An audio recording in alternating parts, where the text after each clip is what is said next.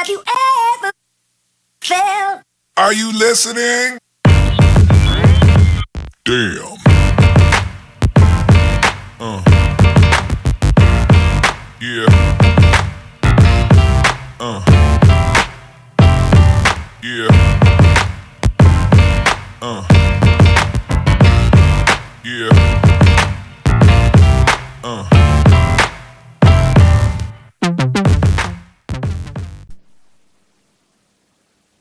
Hi guys, welcome to video number 11 part 3 for the Canon EOS 5D Mark II tutorials and in this video we're going to have a look at uh, custom function number 3, helps if I can talk, autofocus and drive. So in the autofocus and drive section um, we have a few custom functions, I'll just go back to the beginning there. Um, the first one is lens drive when AF impossible. Um, you can either set it to continue to hunt um, to try and find focus, so the lens continues to hunt, move, trying to lock focus, or to not bother. Um, instances where you may find the camera can't focus is in low light, um, and scenes where there's no contrast, or scenes where it's just a plain flat um, scene or surface, i.e. a basic white wall. You're not really going to be able to lock focus onto a white wall um, unless there's any marks on there or areas of contrast for the camera to lock onto. Because uh, the autofocus on these things thrives on contrast. Uh, and actually the autofocus on the 5D2 thrives on a lot of light to work. Well, anyway.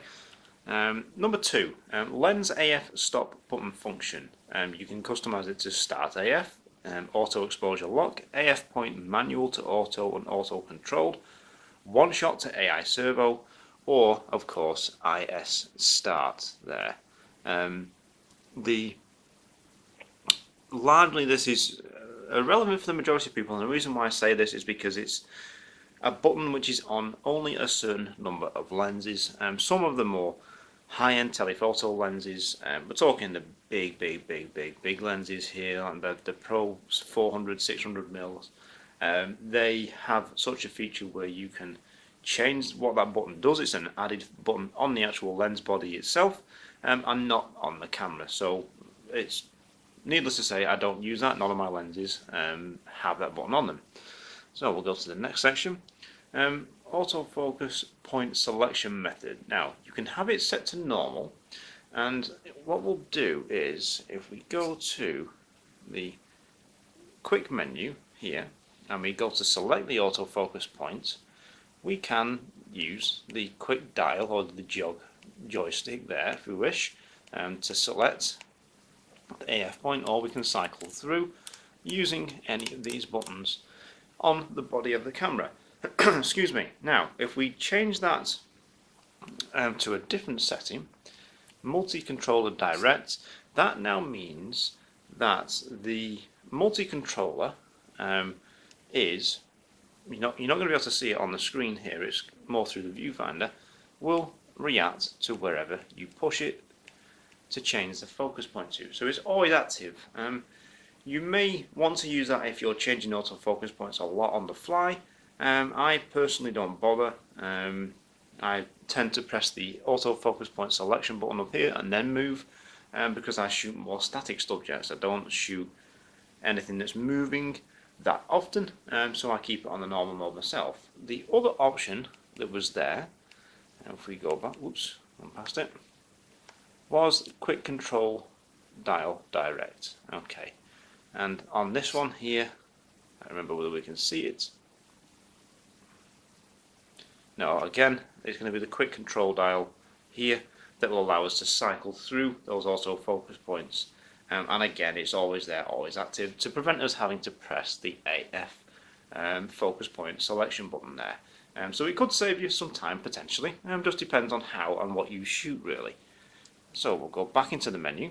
I'm going to set that back to normal and we'll go to the next one. Superimpose display. Now on this one we can either have the red autofocus confirmation lights on or off um, I prefer to have these on so I can see which AF point is selected and in use. Um, and just to make sure I've not accidentally moved to one of the very outer ones because they are terrible, at least on this particular body. Um, I tend to stay away from those. So you can either have that on or off really. And you still can have, you will still get the confirmation beep on the focus and the green dot in the far right corner, or bottom corner should I say, um, of the viewfinder display as well. Uh, but it's just those little highlights and red lights that light up. And you can have them on or not.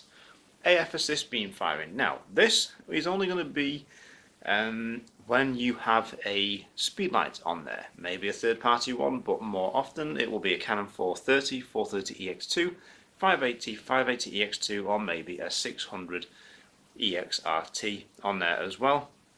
The STE2, I think it was called, Commander, which was the line of sight infrared signal um, that you would put on there, has a built-in AF assist beam um, so that would fire um, if this was enabled and the camera felt the need where it needs AF assistance because there's not enough light, not enough contrast. So you usually get a little grid pattern of red red lasers, if you will, to give the camera a contrast um, or an element of contrast to lock focus onto. Number six here, mirror lockup. Now, um, largely this will be disabled on my camera because it's rare that I use a tripod other than for you know the likes of video work really. I don't like shooting on tripods at all. Um, not a fan of them, um, so it tends to be disabled. Now, when you're shooting on a tripod, it's recommended in most cases to use image stabilization switch in the switched off position. Okay, and mirror lock up as well. Um, because it locks the mirror up and pre prevents that mechanical action of the mirror that mirror slap from causing vibrations and reducing sharpness in an image, especially if you're doing, say, landscapes or long exposures. Um, so I would certainly use it then, um, because then you go into a tripod because you're doing a long exposure. Uh, um, but otherwise it tends to stay um, disabled. Everybody knows, I think, now that the 5D2's mirror is very aggressive. It's very noisy, very loud. Um, I actually like it because I like the sound of the shutter of it, but it it can be a problem when you're hand holding at slower shutter speeds um, because of that aggressive mirror. Um, so I may, on occasions, turn that on. Okay, AF point area expansion. Now, the 5D Mark II has nine autofocus points. Um, only one of them's any good really, um, because it's the center one, which is the cross type um, down to f2.8 or below. The rest are not cross type and they need a lot of light to work. Um, studio lights with modeling lights help a lot um, when you're in studio with this camera. If you're using speed lights you're going to struggle, especially if you've got to turn the overhead lights off. Um, but it does have AF point area expansion which are six hidden AF points around the center one which can help when you're using um, AI servo or continuous autofocus trying to track a moving subject. Um, the AF on the 5D2 sucks, quite frankly, so it's not really something for fast action. Um, but it's there that you know to help um, along really. It's a landscape, it's a studio camera, you know, for portraits. People have used them a lot in weddings, of course, over the years, um, and it does a very, very good job at that. Autofocus has always been its weak point, I must admit. So we'll go to the last um, part of this, an AF micro adjustment. Now, not all cameras have this. The lower end Canon Rebels or the T1i, T2i, uh, 500D, 600D, things like that, they tend not to have this, or at least it's not there in the firmware. Um, you can adjust your autofocus uh, by micro adjustments. So if you have a lens which forward, which front focuses or back focuses from in compared to where you lock the focus on, um, so it's never really locked on tack sharp, you can adjust it by taking it to minus or plus setting. Um, to adjust accordingly, you can do it using measuring tools, um, a ruler, some piece of paper on a table. However, I calibrate mine um, using a piece of software called Focal. I'll do a video on that probably on my other channel at some point. And most of my lenses have had to have some micro adjustment on this particular body. Um, it will differ body to body, lens to lens. You buy 150mm from one shop, another 50mm from another shop they're not going to be exactly the same. They're made within certain tolerances and they may need micro adjustment on your camera body. Uh, you know, not always, but they may. I've found that mine do, so they have been micro adjusted. Okay, adjust by lens or adjust all by the same amount. Okay, so mine are adjusted by the lens. So if I go into here, okay, go into the info there, we can see the Canon E EF35 f2 is on minus 8 adjustment okay and there it is um, for a forward forward focus to adjust for any kind of back focusing it's just to slightly tweak the focus there um, I think the worst lens in terms of adjustment wise is my 50 mil I think. Um, that had the biggest adjustment needed um, but it's still within the adjustment range.